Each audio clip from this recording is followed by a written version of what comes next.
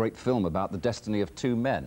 And in 10 minutes' time, we'll be concentrating on the destiny of two teams, Argentina and West Germany, as they contest the final of the World Cup.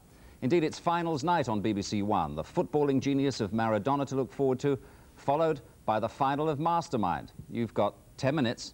Don't miss it all. I think it'll be quite terrific.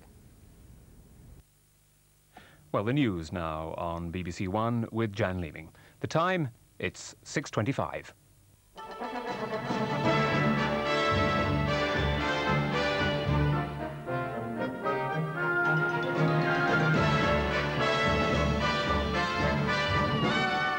of South Africa's Zulus says black people there are opposed to sanctions. Chief Buthelezi told... and that's all for now. The main news is at 9.15.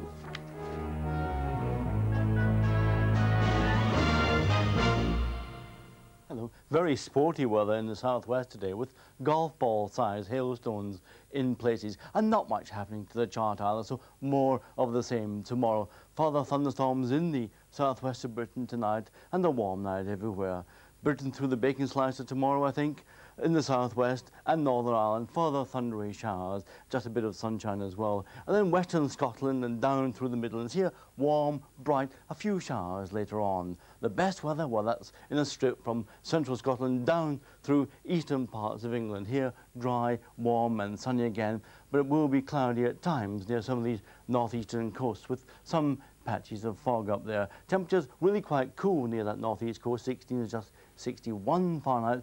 Elsewhere, very much as they have been today, up to 28 Celsius. That's 82 Fahrenheit, regular too if you use gas. Let me finish up with a summary of tomorrow's weather. There we are, a lot of us having another dry and very warm day. There we are, I hope you enjoy the football match. It looks like a fine day for that too. That's it. Good evening.